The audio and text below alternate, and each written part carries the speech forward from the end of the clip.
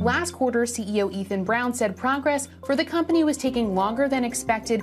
They cut workforce with layoffs and also cut their guidance. Inflation has been weighing on it, with customers going to private label, uh, plant based meat, or traditional meat due to prices, even though the company is continuing to work toward price parity.